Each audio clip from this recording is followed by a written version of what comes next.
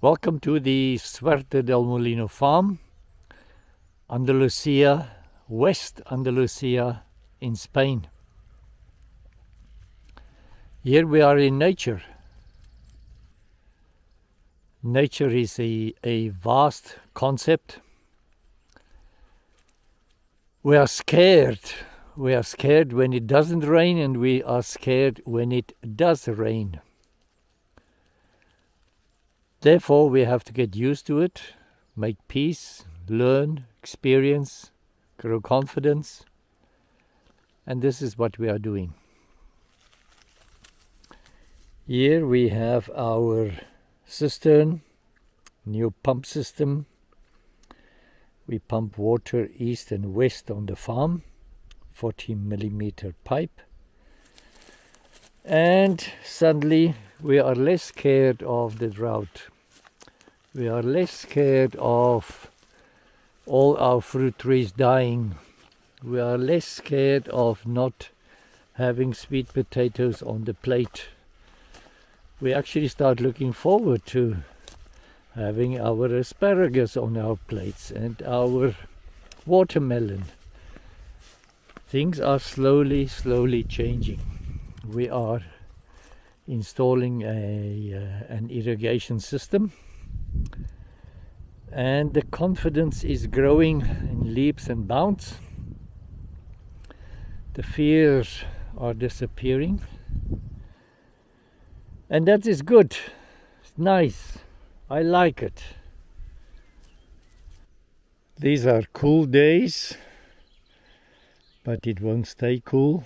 We are thankful because it hands us a little bit a an opportunity to progress with this work and not to worry and not to hand water.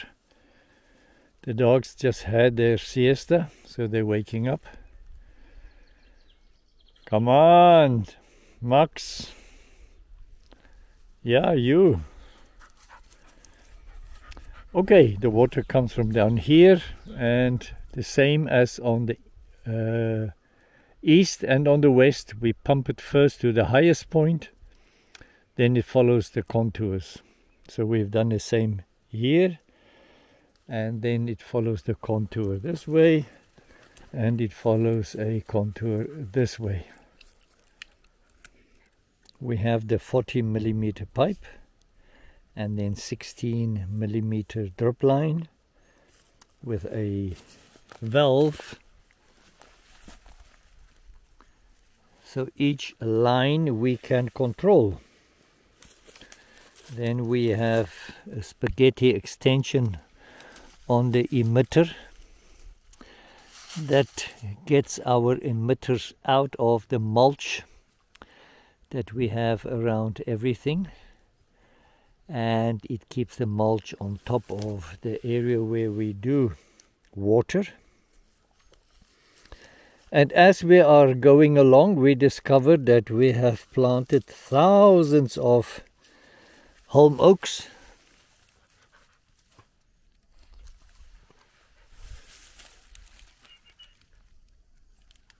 This is the first year. Lots of acorns are germinating. Maybe after the good rain, after the drought of several years excellent. We are even putting up drippers for them in many places. This was quite a task. We are perhaps 60% complete with the installation. Today I've already walked 22 kilometers. I'm tired. So uh, first walk is to clean it and then to go and fetch the pipe and then draw the pipe and then realize it's too short or too long or to this or to that. And then we also have to clean a strip in the middle of the berm so that the pipe can rest on the earth on the soil and not hang in the air on the growth the plant growth we have here and uh, as soon as we have that then we have to crawl on top of the berm and install the emitters one by one. Here we have the um, Vachellia karroo tiny ones.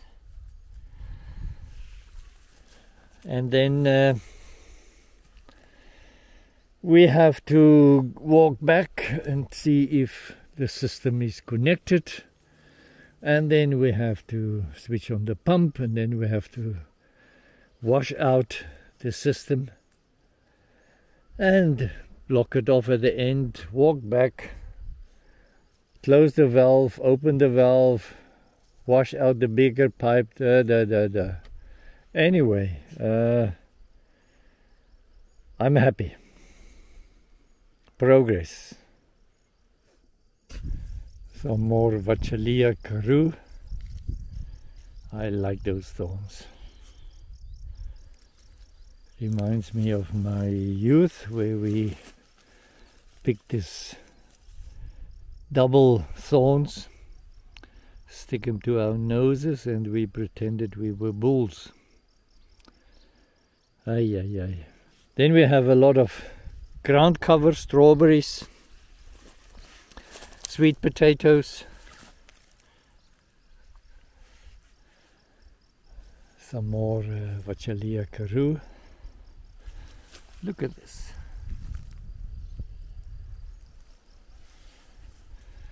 I love it. And then we have some deer repellent scent.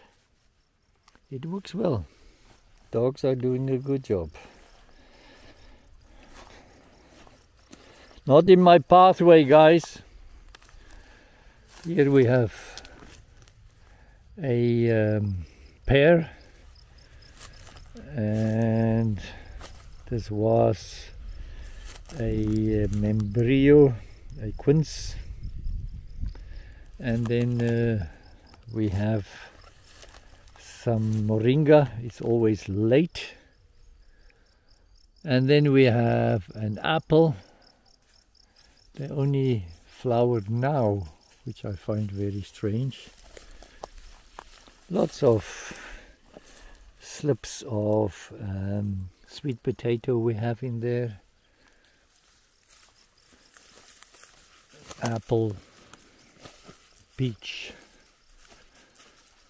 ground cover moringa ground cover and then, then a moringa it's only coming now.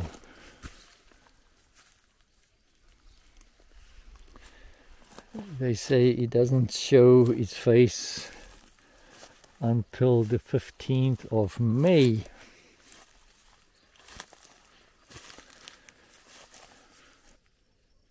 I'm so excited about this uh, irrigation system because in the past we used to make a dam underneath next to the stem of the plant the tree and then we water in it and then it breaks and then we have to repair it and then whatever so uh,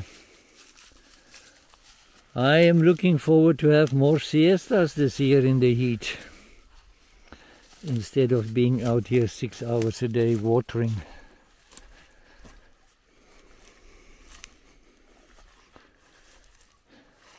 Then this I have to do starting tomorrow.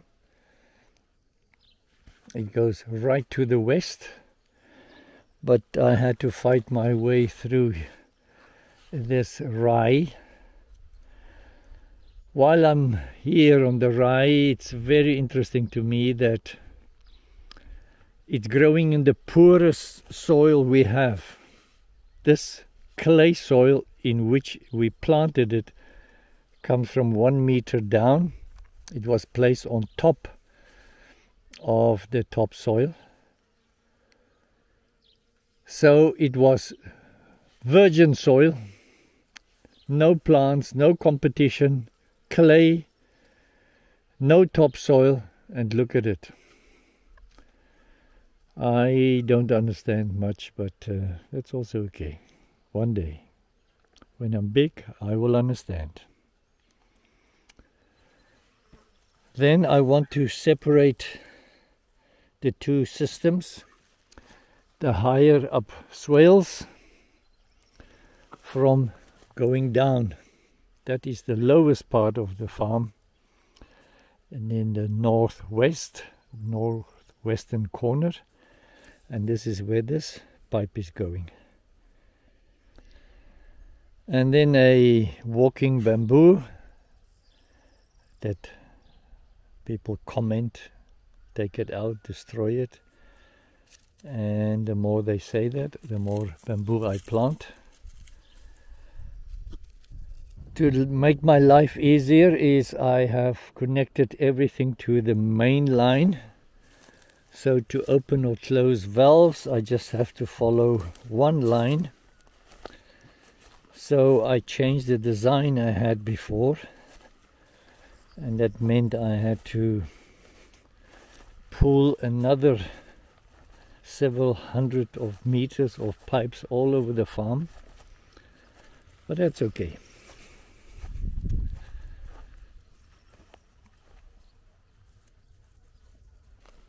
This is the end of the 40 millimeter pipe 200 meters and then I continue with 32 and that goes right to the corner and then up to the swale a little bit higher. I was absolutely amazed how many emitters I can put on uh, the line and run them simultaneously. I actually had to open all of them because the pressure in the pump is quite high, whatever that means. The four bar didn't mean anything to me.